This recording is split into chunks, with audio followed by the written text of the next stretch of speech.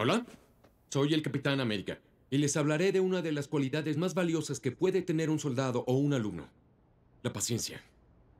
A veces la paciencia es la clave de la victoria y otras veces no da ningún fruto. Te hace pensar que no valió la pena. Y te preguntas, ¿para qué esperé tanto por algo tan decepcionante? Oye, ¿faltan más?